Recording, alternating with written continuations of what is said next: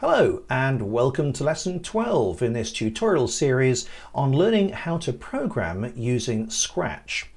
In the last lesson we started looking at something really useful for programming and that is a loop or iteration, something that we can use to repeat instructions a number of times.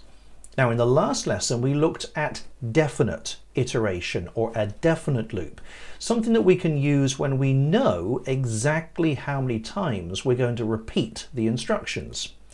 But sometimes we don't know how many times to repeat something. We may never need to repeat a block of code or we might have to repeat it a lot of times.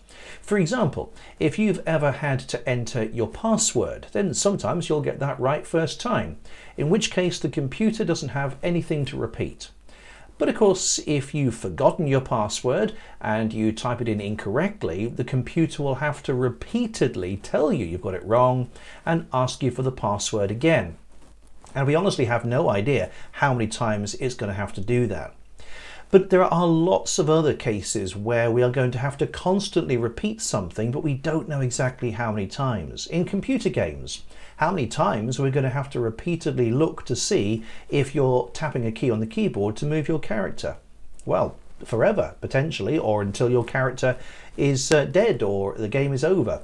So in programming, we often have to repeat code without knowing how many times to repeat it. So this is something called indefinite iteration or an indefinite loop where we don't know how many times we need to repeat something.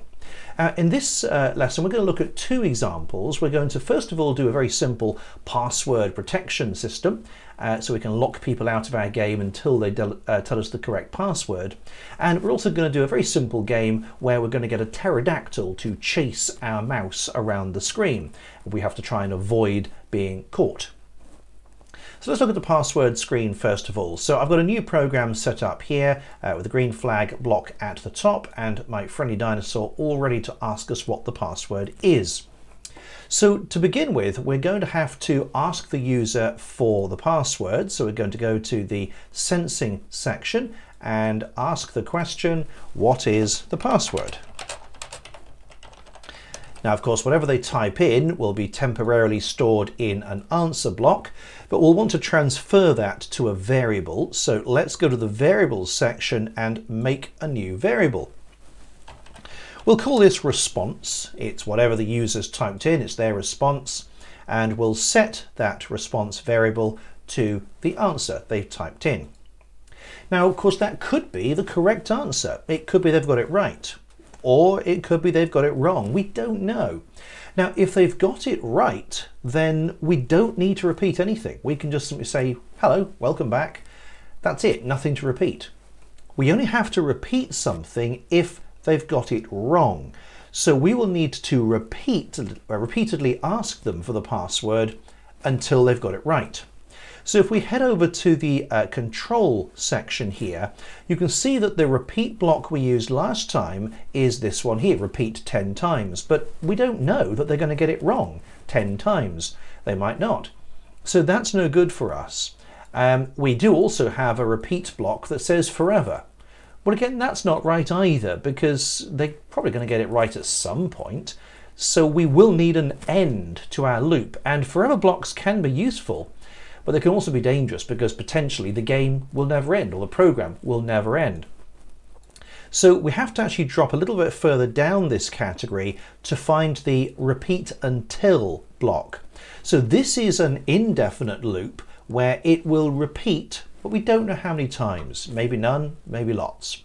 Let's snap that underneath there. And what are we going to repeat until?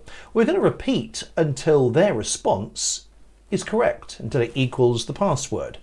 So let's grab the equals block from operators and then drop the variable response in the left hand side. So repeat until their response is equal to whatever the password is. Let's say the password is the word please. So we can write that in there. So repeatedly asking the question until their response is the word please.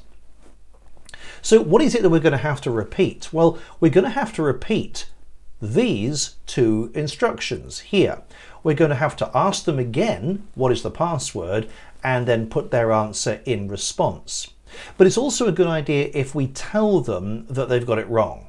So what I'm going to do is duplicate these two lines here and drop them in the repeat block and then put this all back together.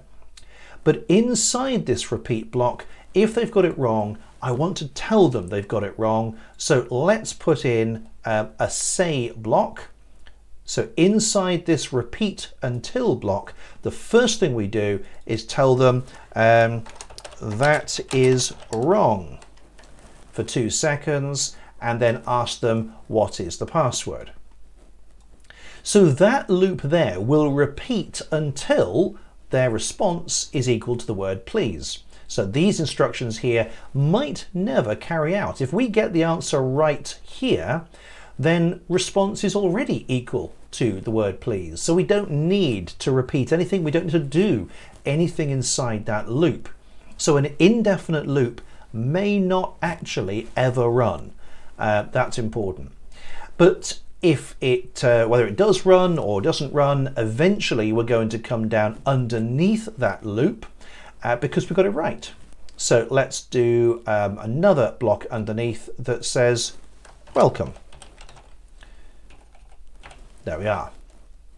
So we've got an option here. We might get it right on this line. We might type the right password in, in which case this repeat until block will never be run and we jump straight down to this say block at the bottom. Otherwise, if we do get the password wrong, then this block will repeat until we get it right. Let's have a look at how this works in practice. I'm going to go full screen, restart the program there, so what is the password? Let's get this wrong to begin with. So I'm going to type in nothing. And there we are. It tells me that is wrong and then asks me for the password again. Uh, let's type in something else. No, that's also wrong. So let's type in the correct password now, which is please. And there we are, welcome. So in that case, the program repeated this block two times. So it asked me the question at the beginning, I got it wrong. It repeated this twice until I got it right. But let's see how it's possible to not repeat that at all. Let's go full screen again and restart this program. Let's type in the correct password first time, and there we are, welcome. So in that case, it never did any of these instructions here. These were completely skipped. There was no need to run them. So that is an indefinite loop. Let's look at another example where we're going to have a little game uh, to play here. So I'm going to get rid of all these blocks of code here, get rid of all that. Um, I'm going to get rid of that um, sprite as well, and I'm going to put a different sprite in, one that can fly. Let's get this pterodactyl there. There we go, so we've got the pterodactyl. Now, he's fine, uh, but there's a couple of things that we'll need to do. And the first thing here is we need to make him a little bit smaller because at the moment he's huge, and if we're trying to move our mouse away from him, he's going to catch us very easily. So to make a sprite a bit smaller, um, you have to make sure that the preview you've got here is the large preview because a lot of the options down here are missing when you have the small preview. So click on the middle button there to get your big preview. And then you'll see size down here. And this is a percentage. 100 means it's the normal full size. So I'm going to go and change this to, let's say 40%. There we are, that's not too bad. So 40%, so he's a little bit smaller now, um, and that'll make the game a little bit more interesting. Now, the other thing that uh, will happen is um, that he will end up tipping. Uh, he'll end up rotating in a moment. Um, I'm not going to change this setting now, but it's something which I will show you in a bit and this is in the direction box. If I click in there, uh, you'll see there are some buttons at the bottom here. And um, if your program is set up the same way mine is, then you'll have the little blue arrow that says all around. Now, we're not going to worry about what that is now, but we'll see what the problem is a, a bit later on. Uh, so let's just start the program to begin with. So we'll grab the green flag for our events. And what we're going to do is have a repeat until block again. So repeat until, and what are we going to repeat until? Well, until that sprite is touching the mouse. So we need to go to sensing and right at the top there we can see touching mouse pointer. So this is going to constantly repeat everything inside this block until this sprite touches the mouse or the mouse pointer. So I'm going to come out the screen and start touching the mouse, but the pointer on the screen. So um, repeat until touching mouse, what's it going to do? Well, it's going to do a few things here. First of all, it's going to point towards the mouse. So in motion, we're going to grab this point towards the mouse pointer. Now this is where we're going to have that problem, but you'll see what I mean in a moment. So once it's pointing in the direction of the mouse, we'll then move, let's say 10 steps, let, let's say five steps. Let's make it a bit more uh, easy for us to play. So move five steps, point towards the mouse pointer. There we are. I'm going to repeat that over and over again. Um, now, of course, it may be that it never touches the mouse pointer. Maybe we're really good at this game and it'll never do that, in which case this loop could repeat forever or until you get bored of the game. But eventually, it's likely that it is going to touch the mouse, in which case this loop will stop repeating. So what do we want to happen then? Well, it'll stop repeating when the pterodactyl has caught the mouse. So at that point, we're going to say game over or I've got you or it or whatever you want to do. So let's go into looks and just put a message at the bottom here.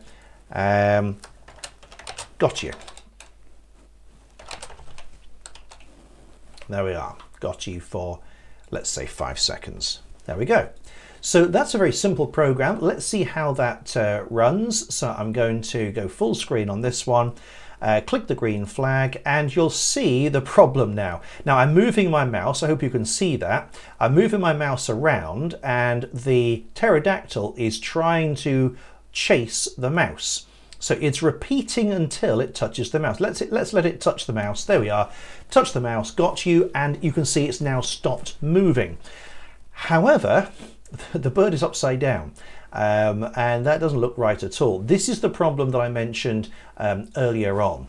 Because if we go back to this view here, we can see the direction currently is minus 87 degrees.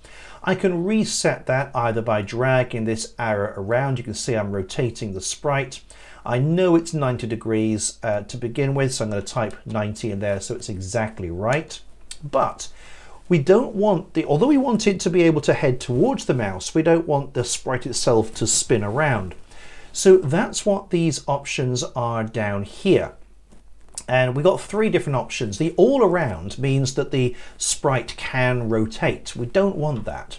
The second option is left or right, which means that the sprite can flip left and right. At the moment, the sprite is looking to his right, so if we choose this middle option and our mouse is on the right hand side of it, he'll flip his head and look the other way. And the third option is no rotation at all. It's just simply going to look exactly like that all the time. I think for this game, the second option is probably the correct one there. So I'm going to click on these little double arrows in the middle there uh, make sure that he's facing the correct way as he is now.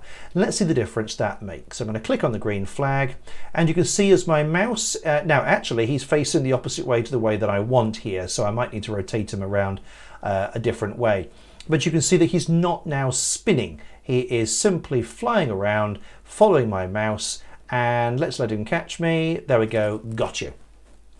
So I think we might need to rotate him uh, around the other way, but that's not a problem.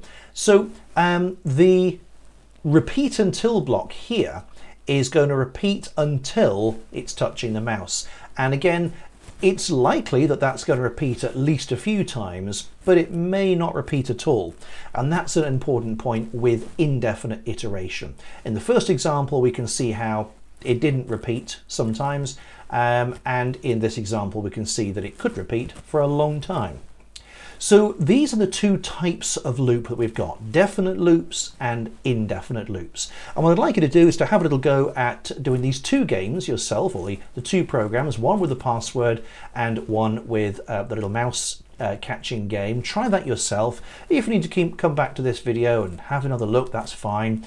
Um, and when you're ready, we'll move on to the next lesson. Remember, if you're looking on the uh, website, which is the uh, computerscience.click website there, then you can actually work through um, all of these uh, lessons and there are quizzes and tests as you go through. And eventually uh, when you get through to the very end you'll get a certificate with your name on as well. But that's an option. You don't have to. Uh, you can carry through watching these videos on YouTube if that is where you are in which case don't forget to subscribe. Um, right I'll see you in the next lesson lesson 13 where we're going to be using uh, loops again and combining it with strings so we can start looking at how long the text is that the user enters. So when you're ready, I'll see you in lesson 13.